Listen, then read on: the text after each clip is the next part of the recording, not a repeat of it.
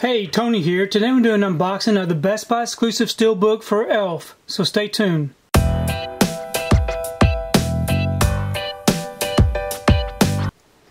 So today I received my order for ELF. This is a Best Buy exclusive steelbook.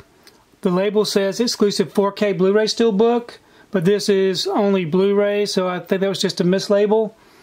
But I'm very happy to have this one in my collection. This is the front. And here's the back.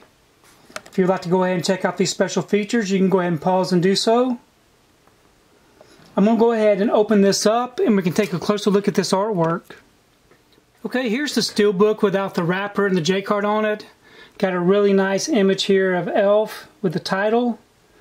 And got some kind of um, Christmas lights that kind of shimmer and the snowflakes, as you can see. And here's the spine. And here's the back. Really nice image there. And we open it up. And we have the Blu-ray disc with some nice disc art. And we have some inside artwork of Buddy the Elf sleeping. Some really nice inner artwork. And really nice um, steelbook artwork on the outside. I really like the way that this looks.